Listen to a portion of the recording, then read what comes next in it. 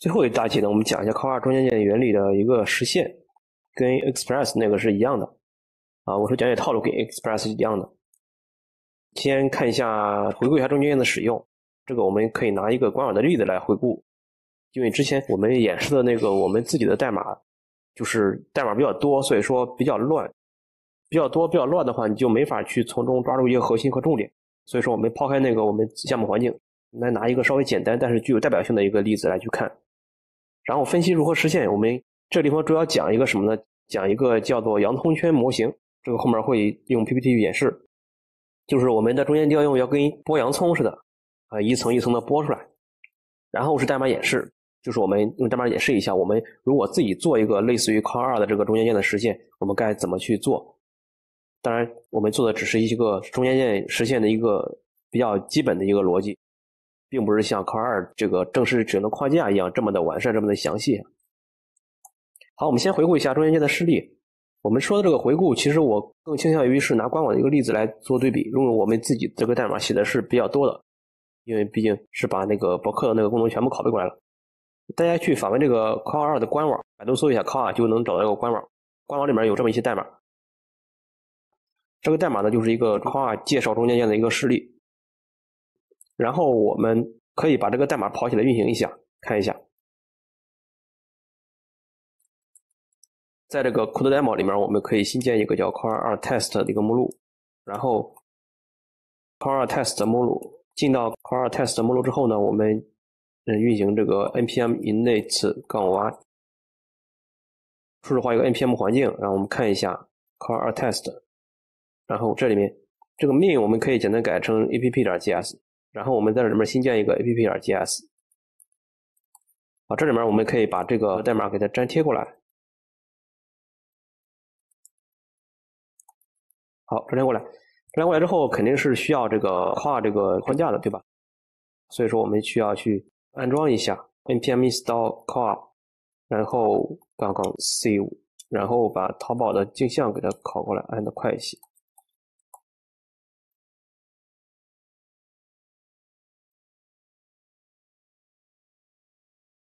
好，按完了之后，我们这直接运行就行了，就是没必要再安装其他的东西啊。我们这个先关掉，我们就直接用 node 去运行就行了。我把这个空号折一下，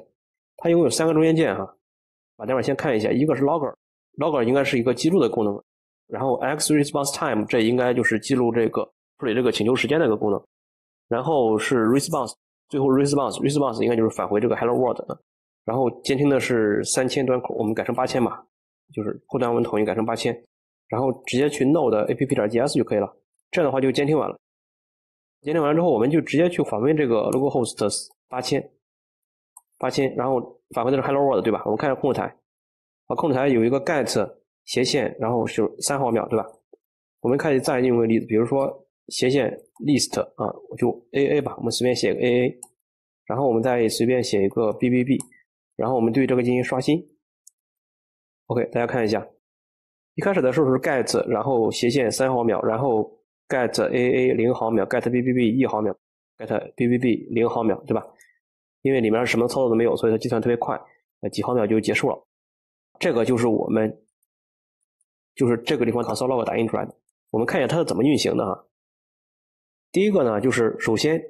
我们启通过 node app 点 js 启动这个程序之后呢，它肯定就是先执行三个注册，对吧？它要注册三个中间件，注册完之后呢，它去 listen，它去监听这个八千端口啊，这是整体的一个思路。然后注册中间件的时候呢，这个要注册，对吧？然后这个要注册。然后这个要注册，然后注册每个中间件的格式我们都说了，都是一个 async 的一个异步函数的格式。然后 next 呢就是执行执行 next，它就去往下去执行，对吧？那我们看一下，如果是注册完中间件之后，我们在这儿地方我们去访问这个 localhost 八千，比如说我们再访问个 CCC 吧，这个时候我们回车，对吧？回车访问 CCC 它是怎么一个过程？首先第一步它是执行第一个中间件，对吧？第一个中间件，然后接下来第一个中间件这个地方直接去 await next，这是第一句话要执行，对吧？然后后面这两个这两句话先不执行，await next 的时候走到哪儿？走到这儿来，对吧？走到这儿来，走到这儿来去执行 cost starts 等于 datetime.now 就记录当前的时间，然后接着 await next，接着 await next 是什么意思呢？就是第十五行至十六行还不执行，先去 await next，await next 就是这一块是吧？然后就返回了这个什么 hello world，这个时候其实已经返回了，已经返回之后，那再怎么办呢？因为再返回到上一层，这个 await next，这个 await next 就已经结束了，对吧？然后再执行下一个十五行，这个又获取当前时间的一个毫秒数，减去 start，start 是之前获取的毫秒数，所以说能获取一个时间差，对吧？时间差，然后把这个时间差呢，给它设置到这个 context 里面去，把这个时间差给它设置到 context 里面去，就先给它存起来。好，这个中间件执行完了，中间件执行完之后，其实就是相当于这个 await next 执行完了，对吧？然后再去执行第七行，然后从这个 context 里面去获取到刚才设置的这个时间差的毫秒数，那时间差，然后再去打印出来，啊，最终就是这么一个过程。所以说我们捋一下它是怎么执行的哈，它是先执行第六行，然后再执行第十三行，再执行第十四行，再执行第二十一行。然后再执行第十五行，再执行第十六行，再执行第七行，再执行第八行，结束。大家能看出这个逻辑来吧？为什么会这样？因为我们的这个不管是同步也好，异步也好，我们这个 assign 要返回的都是 promise，对吧？然后 await 后面跟一个 promise，它肯定是等这个 promise 执行完之后，它再去执行这个下面的内容。我讲到这个呢，其实就是我们下面这个洋葱圈模型，就是之前一直提过几次的，就是说。从这个洋葱圈模型，我觉得也形象也不形象，因为它毕竟这个东西呢，就是怎么说呢？它毕竟是一个图形化的东西，它不是个逻辑化的东西。就类似于说，request 来了之后，我们先经过第一层洋葱，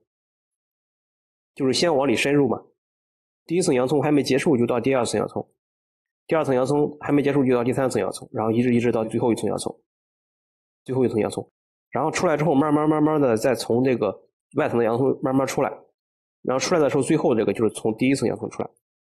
这个其实不是那么好去用语言和图形描述，我们可以直接通过一个代码去验证。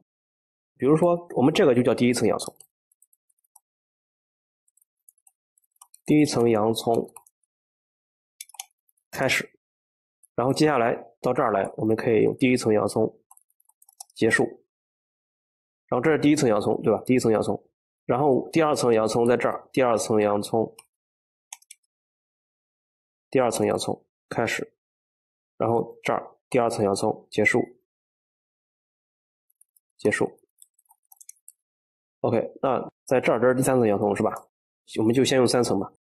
第三层洋葱开始，然后第三层洋葱结束，保存一下。OK，大家看一下，这是第一层洋葱。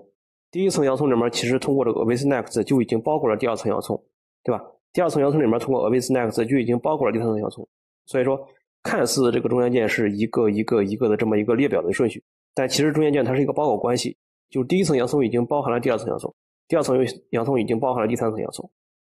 所以说，我们就可以重启一下 node app 点 gs，重启一下。重启完之后，我们直接去访问这个八零八零这个根目录吧。一访问，访问结果肯定是一样的。我们看控制台的输出，大家看一下，第一层洋葱开始，第二层洋葱开始，第三层洋葱开始，第三层洋葱结束，第二层洋葱结束，第一层洋葱结束，对吧？这个模型和我们刚才讲的这个模型是不是一样的？就先从第一层洋葱开始，然后第二层洋葱开始。大家看这 request 的这个箭头。然后到第三层洋葱开始，然后第三层洋葱结束，然后第二层洋葱结束，第一层洋葱结束，就是这么一个形式，对不对？所以说，通过这种方式，我觉得就更能清晰明了的去把这个洋葱模型的这个图形给它解释清楚。好，我们接下来分析一下该怎么去实现啊。第一步肯定是用 app 点柚子来注册中间件来先收集起来，对吧？然后第二步呢，就是实现 next 的机制，就是我们怎么通过 next 让它一个一个一个的往下去触发。这个 app 点柚子和 next 呢，其实跟之前那个 express 这个实现机制基本上是一样的。有一个区别就是说，我们这儿不涉及到这个 method 和 pass 的判断，因为我们之前说过，我们可以回过来看一下，call 啊，call 里面它不涉及到路由，所以说不涉及到路由就不会有什么 get post，也不会有什么 URL pass 这些东西，所以它仅仅是一个中间件的一个注册和传递的机制。所以它的核心就是在于我们这个 app 的 use 该怎么去注册，然后以及 next 的这个机制该怎么去一个一个一个的去触发，并不涉及到 method 和 pass 的这个机制，因为 call 二本身它没有路由功能。好，接下来我们就看一下代码演示。